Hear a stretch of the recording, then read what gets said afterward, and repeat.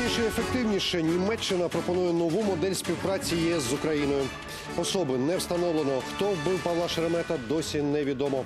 Не люди і лебеді п'яні мисливці розстріляли птахів на Дніпропетровщині. Добрий вечір. В ефірі новини підбиваємо перші підсумки дня. Я Олексій Фадєєв. У зоні АТО зберігається відносне затища. Минулого вечора бойовики влаштували лише дві провокації. У районі Павлополя на півдні Донеччини випустили по українських позиціях 5 мін 120-го калібру, а зі стрілецької зброї вели вогонь по захисниках станиці Луганської. Минулося без втрат. Українські військовики у відповідь вогню не відкривали, дотримуючись різдвяного перемир'я. Повідомили у штабі. Сьогодні в зоні АТО без обстрілів. Волонтери не полишають опікуватися здоров'ям українських захисників. Чергова із численних мобільних медичних груп знову працює в зоні АТО. Справа делікатна стоматологія. Професіоналізм лікарів і зусилля волонтерів дають підстави для впевненості. Перемога України матиме здорову посмішку. Пломба не повинна заважати, вона повинна повністю відповідати корені зуба. Краматорськ, зона АТО. На стоматологічних кріслах бійці спецпідрозділів, які пройшли горнило війни від 2014 року і дотепер. У мене був е, проблемний зуб, тому що частина пломби вискочила. Ну і не хотілося, щоб він якби стерся за час ротації, тому це дуже виявилось так слушно і вчасно. У таких мобільних стоматологіях працюють високопрофесійні лікарі. Тут новітні бори та фотополімери на сучасні препарати. Я вперше цей раз зоні АТО, я маю дуже велику можливість ну, попасти сюди, тому що я хочу допомогти бійцям. Мені запропонували, я відразу погодилася. Четвертый раз уже. Четвертая, четвертая поездка. Ну, с нашими бойцами нет. Не страшно. Делаем свою работу. Стараемся максимально совестно. У цих двох мобільних стоматологічних мікроавтобусах у зону АТО лікарі приїздять уже вп'яте. Зазвичай одна машина поймала більше 10 бійців. Якби якщо дві, це буде 20 з чимось.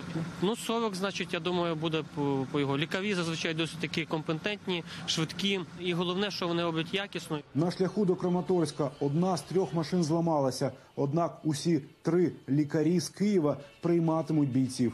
В одному з краматорських готелів облаштували тимчасовий додатковий стоматологічний кабінет. Ініціатор волонтерської стоматологічної допомоги ліванський українець Салім. Свою першу війну він пережив на своїй першій батьківщині у Лівані. Тепер на другій в Україні. Планує обладнати три кабінети для наших фронтовиків у Краматорську, Бахмуті та Авдіївці. У мобільних стоматологіях висять українські та ливанські прапори. Невдовзі Салім уже котрий рік поспіль святкуватиме свій день народження на передовій. Я живу в этой стране. Э, Патриот не тот, который родился, патриот, который любит эту страну. Я люблю Украину. Если я не помогаю, значит кто поможет? Э, Как сказали великие люди, не надо спрашивать, что вам дает эта страна. Спрашивайте, что вы можете дать эту страну. Завтра мобільна група стоматологів-волонтерів попрямує до Авдіївки лікувати спецпризначенців та десантників біля відомої дев'ятини на передовій. Я думаю, что немного осталось, закончилась война, и вы все поедете к себе домой. Будем встречаться по другому поводу. Я тоже так хочу. Геннадій Вівденко, Богдан Савруцький, Ігор Шепет. Новини телеканал Інтер із Донецької області. Продовжуємо випуск колишнього так званого поліцейського терористичної ДНР затримали українські прикордонники. Той намагався в'їхати на підконтрольну Києву територію через пункт пропуску Гнутове. Затриманий розказав, він звільнився з лав псевдополіції через тотальне беззаконня та злидні. Він подався до Маріуполя, аби зробити закордонний паспорт та виїхати до Німеччини. Затриманого передали поліції. Стало відомо, що 2014 року головне розвідувальне управління Росії запустило у соцмережах низку заходів, щоб дискредитувати український майдан. Про це йдеться в секретному звіті російського відомства, який опинився в руках журналістів авторитетного американського видання The Washington Post. Уже наступного дня після втечі Януковича агенти російського ГРУ створили безліч фейкових акаунтів на е, акаунтів на платформах Facebook і ВКонтакті. І ці, так би мовити, персонажі мали представляти, начебто, простих українців, які нібито розчарувалися у протестах на майдані. Ну а крім того, е, крім того, росіяни створили у соцмережах більш ніж 30 псевдоукраїнських спільнот, бажаючи в такий спосіб вплинути на суспільну думку, щоб розгорнути військові дії після захоплення кримського парламенту 27 лютого 2014 року. І ворог не почувається спокійно навіть на окупованій ним території. Спецслужби РФ продовжують істерично влаштовувати обшуки. Цього разу окупанти ввірвалися до оселі шкільного психолога Асене Місіратової в Сімферополі. Також кремлівські нишпорки перевірили будинок її родичів, що мешкають за 10 кілометрів від Асене. Як повідомляє громадське об'єднання Кримська Солідарність, шукали нібито докази причетності жінки до пошкодження газогону на південному узбережжі півострова. Нічого ясна річ не знайшли. Без 15.07 а, постучались в дверь, вернее, позвонили, вот, и попросили убрать детей в зал. Вот. Нас а, отвели в кухню, вот, э, сказали предоставить все документы, телефон, компьютер. Вот. Они это все изучали, смотрели. Потом составили какой-то протокол и начали э, проводить обыск, начиная с кухни. По поводу взрыва, как это, электростанции, Газо- газопровода да, в Алуште. И в. Брекзит може стати корисним для України, адже Велика Британія та Євросоюз саме обговорюють нову модель стосунків після розриву. Тож, коли нову угоду щодо співробітництва укладуть, застосувати її можна буде зокрема і для України. Як саме Київ може використати Брекзит на свою користь? Із Лондона про це розкаже Світлана Чернецька. Київ уже переймає британський досвід у багатьох сферах від військової і до економічної. А тепер зможе ще й скористатися напрацюваннями Брекзиту. Угоду, яка регулюватиме стосунки між Великою Британією та Євросоюзом, розроблятимуть щонайменше два роки. Вона охопить усі сфери співпраці. Це будуть сотні законів і норм. В ідеалі цей документ має забезпечити щонайтісніші стосунки між Британією та ЄС після виходу країни з блоку. Тож, якщо обидві сторони будуть задоволені новою моделлю співпраці, Україна теж зможе її використати. Таку пропозицію озвучив міністр закордонних справ Німеччини. Якщо нам вдасться досягти розумної угоди з Великою Британією, яка регулюватиме відносини з Європою після Брекзиту, це може стати моделлю і для інших країн, як от України чи Туреччини. Поки що я не можу уявити собі членство цих держав у Євросоюзі найближчими роками, тому ми мусимо розмірковувати про альтернативні форми тісної співпраці.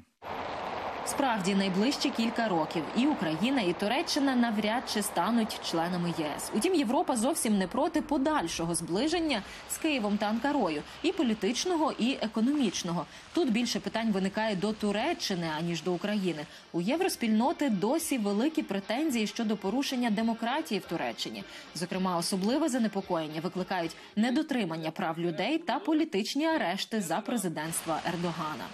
Світлана Чернецька, Сергій Дубінін. Новини британське бюро телеканалу Інтер. 2017 рік став найпровальнішим для РФ за весь період дії антиросійських санкцій. Такий висновок приголомшливий для тих, хто вважає, що санкції не дійствують, оприлюднив комерсант, посилаючись на дані американського інвестиційного банку Меріл Лінч. Російське видання навело цифри 900 мільйонів доларів. Це тільки за останній рік вивели з Росії закордонні інвестори. Найжвавіше свої активи з Росії виводили у передріздвяний період. Фінансисти пов'язують це з невиправданими очікуваннями. Москва так настирливо анонсувала покращення стосунків з Вашингтоном після перемоги на виборах Дональда Трампа.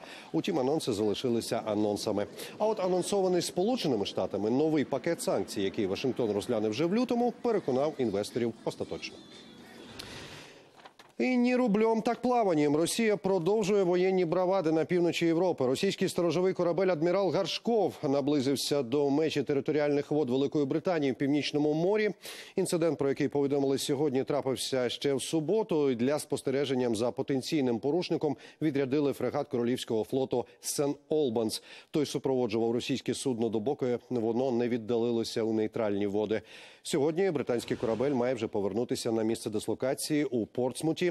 Коментуючи подію, міністр оборони Британії зокрема заявив, що без вагань захищатиме територіальні води своєї країни і не стерпить жодних проявів агресії з боку Росії. Адмірал Гаршков це головне судно проекту 22350, у рамках якого РФ планує переозброїти свій флот новими багатоцільовими судами так званої далекої морської зони. Фрегат спустили на воду 2010 року, і зараз, як нагадали російські змі, корабель у випробувальному плаванні. 22350 – це власне проект Росії, увага до якого там різко зросла після того, як 2014 року Франція відмовила РФ у постачанні найновіших кораблів Містраль через агресію на сході України. Українські правоохоронці досі не встановили виконавців вбивства журналіста Павла Шеремета. Про це заявив голова Нацполіції Сергій Князів. Також він повідомив, що інформацію про судові рішення в цій справі засекретили, аби заплутати злочинців. Е, На жаль, особи, які вчинили вбивство е, громадянина Шеремета, не встановлені. Ми засекретили саме в цьому правопорушенні е, рішення судів, то хочу довести, що не тільки в цьому, а в багатьох е, правопорушеннях, яких йдуть розслідування, і щоб правопорушники в першу чергу не розуміли шляхів, е, якими йдуть слідчі підрозділи. Нагадаю, Павло Шеремет загинув вранці 20 липня 2016 року у центрі Києва дорогою на роботу унаслідок вибуху автомобіля. За попередніми даними, вибухівку заклали під днищем автівки. Близькі журналіста повідомляли незадовго до загибелі. Той говорив, що за ним стежать.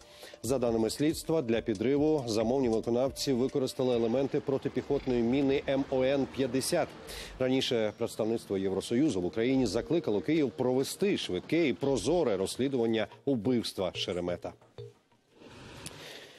Ідемо далі. Самосудом ледь не завершилося полювання для п'яної компанії на Дніпропетровщині. Нетверезі та озброєні мисливці зухвало розстріляли білих лебедів. Бійню влаштували в селі Пісьмечеве Солонянського району. Ледве не те саме зробили з живодерами місцеві жителі. Чи понесуть відповідальність гори мисливці? З'ясовували наші журналісти. Це відео зняли місцеві жителі. Кажуть, на березі застали трьох чоловіків на підпитку. Четвертий тягнув вже мертвих лебедів. Вони час на ось у живі були, плавали. Що, подохли самі, так? Да? А що ви голодні, да? Да ні. Не доїдаєте? Ні. А як це називається? Санітарний стріл. У гори мисливці поверталися з полювання на фазанів, везли чотирьох пернатих. Та цього їм видалося замало. Дорогою побачили лебедів на водомі і задля розваги вирішили постріляти. Вбили самку із пташенятами. Звісно, жалко. Моя ще дочка не знає, це плакать буде. Страшно, звісно. Як ідеш десь там пахкає, буває днем е, охотничі дні. Це в нас коли? Середа, по-моєму, четвер, субота, по-моєму, ці дні. Що чуть як стріляє.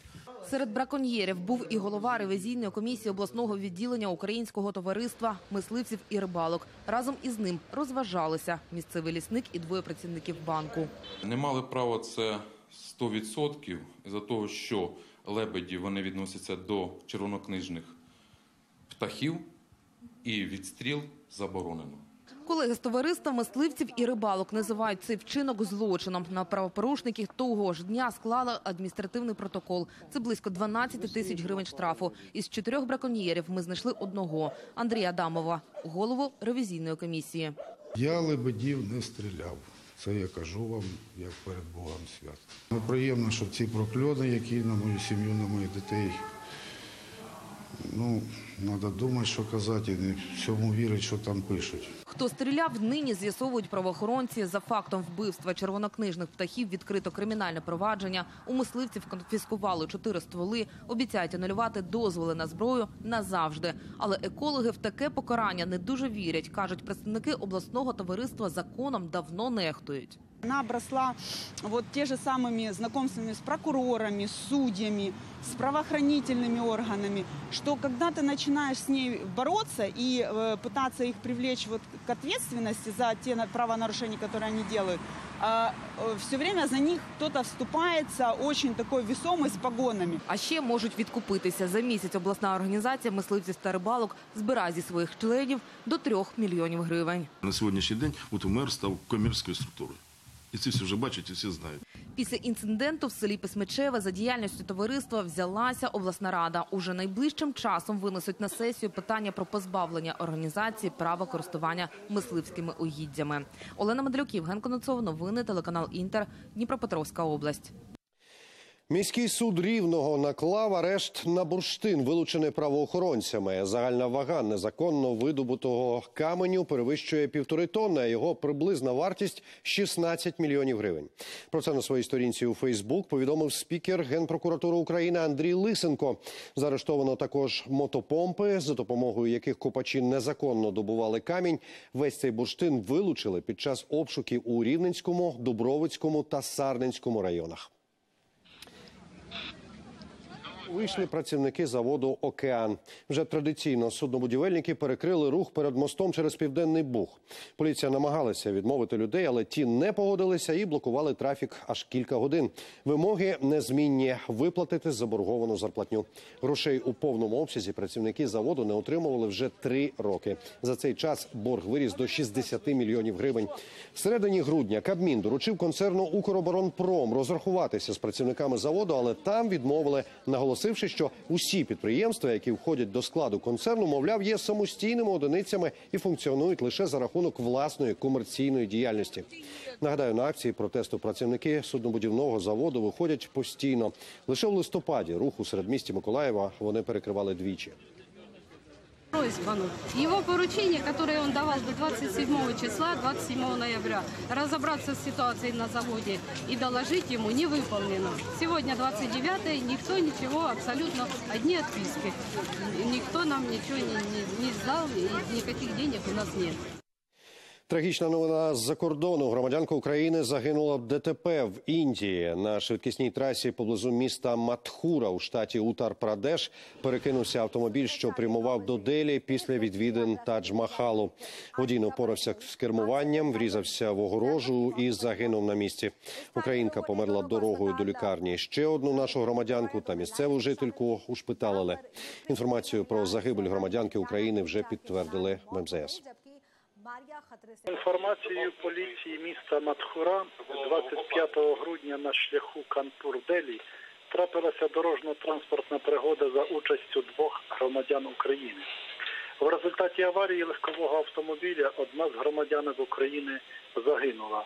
Інша отримала незначні травми і наразі перебуває в лікарні міста Матхура. Стан її здоров'я, за словами лікарів, задовільний. Як нам вдалося дізнатися, співробітники консульства підтримують зв'язок з поліцією і вже почали готувати документи для перевезення тіла загиблої на батьківщину. І про інші надзвичайні події у світі дивіться далі в нашому огляді. До 240 зросла кількість жертв тайфуну Тембін на Філіппінах, і ще сотні людей досі шукають. Через суви та повені 75 тисяч філіппінців лишилися просто неба. До шторму вже приготувалися і в сусідньому В'єтнамі. Там евакуювали 70 тисяч людей, і ще мільйон готові покинути свої домівки в разі негоди. Але синоптики кажуть, Тембін уже значно послабшав і навряд чи зачепить В'єтнам. За два дні стихія вщухне. На японському острові Хокайдо захурделило через замети на дорогах перебої з транспортом. У найбільшому аеропорту острова скасували кілька десятків авіарейсів. Синоптики попереджають, найближчими днями негода не вгамується. У гірських місцевостях можливе сходження лавин. Японію атакує так звана м'ясоїдна бактерія, так називають стрептокок групи А. Хворобу діагностували в понад пів тисячі пацієнтів. Перші симптоми біль у горлі, висипи на шкірі, слабкість у руках і ногах. Смерть може настати за кілька годин. Японські медики закликають негайно пройти обстеження всіх, у кого є відкриті рани на тілі, адже це основний шлях зараження. Смертельні феєрверки на Кубі. У різдвяну ніч від святкових вогнів постраждали 39 осіб. Напередодні озвучували вдвічі меншу цифру. Під час карнавалу в місті Ремедіос піротехніка несподівано почала вибухати. Місцеві змі повідомили, що на петарди потрапила іскра. Близько десятка людей досі у критичному стані. Серед постраждалих шестеро дітей віком від 11 до 15 років. Через сходження лавин у швейцарських Альпах за останні кілька днів у горах загинули троє людей. Першого місцевого жителя, який катався на лижах, засипало снігом у кантоні Вале. Другий французький альпініст загинув, намагаючись підкурити вершину на сході країни. Сніжний обвал протягнув його майже кілометр. Ще одна альпіністка зі Швейцарії померла від травм у лікарні. І далі таки до святкової тематики. Подарувати свято тим, хто можливо найбільше цього потребує. В Одесі біля міської ялинки зібрали дітей з багатодітних сімей, а також вимушених переселенців зі сходу України. Чи вдалося створити атмосферу новорічного дива для малечі? Про це далі в репортажі.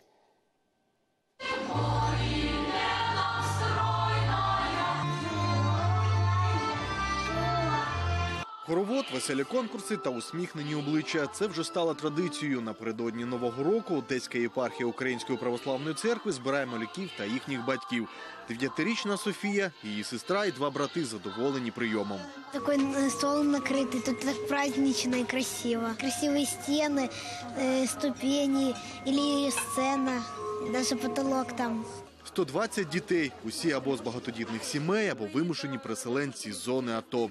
Сім'я Ради Насирова підходить одразу під обидві ці категорії. Вони з Донецька, дітей четверо. Окупований Донбас залишили під обстрілами бойовиків, коли наймолодший був ще немовлям. Благодарний церкві і Богу, що от э, мир не без добрых людей, люди помогают. Ну ничего, ну что сделать? Э, Может и закончится эта война, мы как-то домой уже попадем в свои квартиры. Для дітей концерт і ляльковий спектакль, який розповідає про життєвий шлях Миколи Чудотворця. Про цього святого розповідає митрополит Одеський Ізмаїльський Агафангел і благословляє малюків. Дети – это будущее, это радость, это вся счастье, это всегда надежда на то, что они сменят новые поколения И будут продолжать достойно свою жизнь, радуя, утешая родителей и тех, кто оказывает им внимание, воспитание и любовь. І, звичайно ж, подарунки, солодощі, м'які іграшки та канцелярія. Підготувати все це допомогли віряни. Можна було або здати гроші на покупку подарунків, або ж придбати його самостійно. не э, только финансовые средства, а вот именно такая э, живая, деятельная доброта, когда ты сам идешь, покупаешь и приносишь. На завершення свята всі ділилися побажанням на новий рік. І через слово від дітей і дорослих звучало побажання миру для України.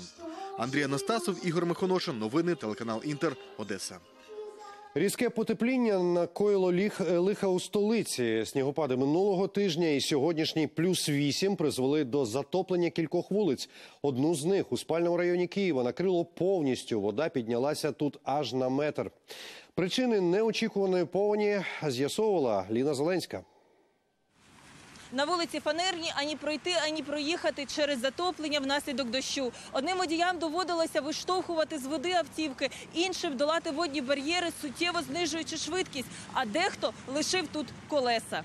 Приїжджав цю цей відрізок дороги і на середині тої калюжі, от як бачите, проріз колеса. Переді мною стояв ланус тут, е, який якраз вже поміняв колесо.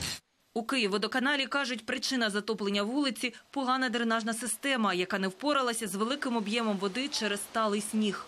А эти проблемы постоянно. Здесь постоянно наводнение. То есть этот канал был сделан меньше размерами, чем он должен быть. И дренажная система была построена не по проекту. Это номера, которые люди потеряли за сутки в течение поводня. Мешканці сусідніх будинків, м'яко кажучи, не в захваті від місцевої Венеції. Скаржаться, їх постійно підтоплює. Крім того, поруч спілка незрячих. Щодня людям з особливими потребами доводиться долати відстань на вулиці Фанерній майже вплав. Люди, которые э, э, болеют, они не могут ходить на работу, они, потому что здесь вода. Обойти это место просто невозможно. Зранку вода на вулиці сягала метра. Після обіду почала сходити. Її розігнали автівки. Ніхто з представників дорожніх служб чи МНС на місці події так і не з'явився. Ліна Зеленська, Сергій Єрьомінко. Новини. Телеканал Інтер. І от про різке потепління це не порожні слова. Водночас, от кияни пережили найтеплішу ніч за останні 137 років. За даними Центральної геофізичної обсерваторії, стовпчик термометра не опустився нижче 3,1 за Цельсієм. Загалом у столиці встановилася погода, яка відповідає кліматичній нормі кінця жовтня. Новорічну ніч, схоже, теж святкуватимемо в теплі і без снігу. Синоптики розказали, який буде останній тиждень року. Аж до 31 1 грудня на всій території України е, температура коливатиметься від 0 до плюс 5. Істотних опадів не очікують. Невеликий дощ з мокрим снігом прогнозують лише на Рівненщині, Чернігівщині, Житомирщині та трохи на півночі Київської області. І на цю годину у нас усе. Команда Подробиць готує для вас випуск о 20-й годині. Не пропустіть його. А я прощаюся з вами вже до завтра. На все добре.